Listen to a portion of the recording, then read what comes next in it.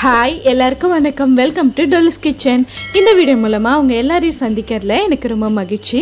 நம்மள இனிப்பு பிடிக்காதவங்க யாருமே இருக்க மாட்டாங்க. அதனால் ஒரு சூப்பரான ஸ்வீட்டான பருப்பு பாயசம் தான் நம்ம இன்றைக்கி செய்ய போகிறோம் வாங்க எப்படி செய்யலான்னு பார்க்கலாம்.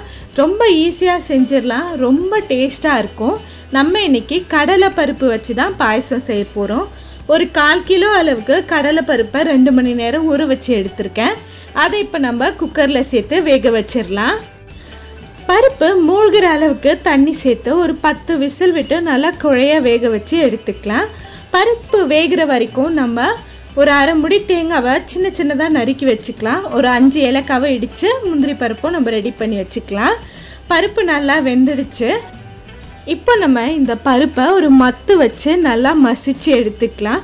நீங்கள் இதை மிக்சியில் கூட போட்டு அடித்து எடுத்துக்கலாம். ஆனால் ரொம்ப ஸ்மூத்தாக ஆகிடும் இந்த மாதிரி மத்து வச்சு கடையும் போது உங்களுக்கு பாயசம் குடிக்கும் போது வாயில் கடிப்பட்டு நல்லாயிருக்கும் இப்போ ஒரு கால் கிலோ வெள்ளத்தை நல்லா இடித்து கொஞ்சம் தண்ணி சேர்த்து இதை கொதிக்க வச்சு எடுத்துக்கலாம்.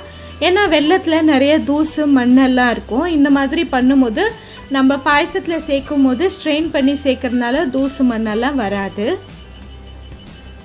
நம்ம மசிச்சு வச்ச பருப்பில் வெல்லம் தண்ணியை நல்லா வடிகட்டி சேர்த்துக்கலாம். ஸ்வீட்னஸை பேலன்ஸ் பண்ணுறதுக்காக எப்போவுமே நம்ம ஒரு ரெண்டு பிஞ்சு உப்பு போடுறது ரொம்ப நல்லது. எல்லாத்தையும் சேர்த்து நல்லா கலந்து எடுத்துக்கலாம். நான் இதில் டேஸ்ட்டுக்காக கொஞ்சம் தேங்காய் பால் சேர்க்குறேன். உங்களுக்கு தேங்காய் பால் வேண்டான்னா நீங்கள் பசும்பாலை கூட சேர்க்கலாம். இல்லை நீங்கள் பாலே சேர்க்காம கூட பண்ணலாம். ஆனால் இந்த மாதிரி தேங்காய் பால் சேர்க்கும் போது உங்களுக்கு இன்னும் கொஞ்சம் எக்ஸ்ட்ராவாக க்ரீமியாக டேஸ்ட்டாக கிடைக்கும். நல்லா கலந்து இப்போ இதை நம்ம அடுப்பில் வச்சு கொதிக்க வச்சு எடுத்துக்கலாம். பாயசம் லைட்டாக கொதி வரட்டும். அதுக்குள்ளே நம்ம முந்திரி பருப்பு தேங்காவெல்லாம் வறுத்துக்கலாம். ஒரு ஆறு டேபிள் ஸ்பூன் நெய் எடுத்து நம்ம வெட்டி வச்சுருக்க தேங்காவை நல்லா பொன்னிறமாக வதக்கி எடுத்துக்கலாம். இந்த வறுக்கிற தேங்காய் நம்மளோட பாயசத்துக்கு இன்னும் நல்ல ஃப்ளேவரை கொடுக்கும்.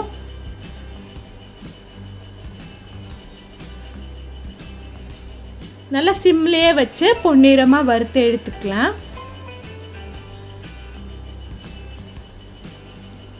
பாருங்கள் நல்லா பொன்னிறமாக வறுந்துடுச்சு. இப்போ இதை நம்ம தனியாக ஒரு பிளேட்டில் மாற்றி வச்சுக்கலாம்.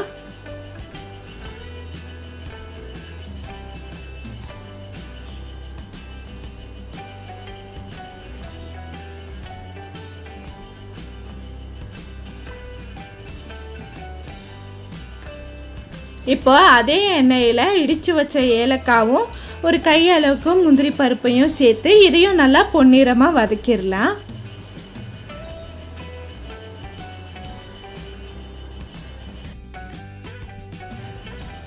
இப்போ இந்த பருப்பு பாயசத்தில் நம்ம தாளித்து வச்ச முந்திரி பருப்பு ஏலக்காய் தேங்காய் எல்லாத்தையும் சேர்த்து நல்லா கலக்கி ஒரு சின்ன கொதி வந்த உடனே இதை ஆஃப் பண்ணிடலாம்.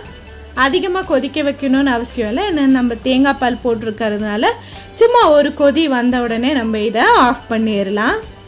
இந்த பாயசம் செய்யும் போது கொஞ்சம் தண்ணியாகவே செய்யுங்க. ஏன்னா அது கொஞ்சம் ஆறுனதுக்கப்புறம் கெட்டிப்பட்டுரும். கொஞ்சம் தண்ணியாகவே சேர்த்திங்கன்னா ஆறும்போது கரெக்டாக இருக்கும். பாருங்கள் இந்த மாதிரி சும்மா கொதித்த உடனே ஆஃப் பண்ணுங்கள் சூடு சூடாக சர்வ் பண்ணி நல்லா என்ஜாய் பண்ணுங்கள் வீடியோ பிடிச்சிருந்தா மறக்காமல் டொலிஸ் கிச்சனுக்கு சப்ஸ்கிரைப் பண்ணி சப்போர்ட் பண்ணுங்கள் பெல் ஐக்கானை கிளிக் பண்ண மறக்காதீங்க. தேங்க்யூ ஸோ மச் ஃபார் வாட்சிங் a video stay safe and stay healthy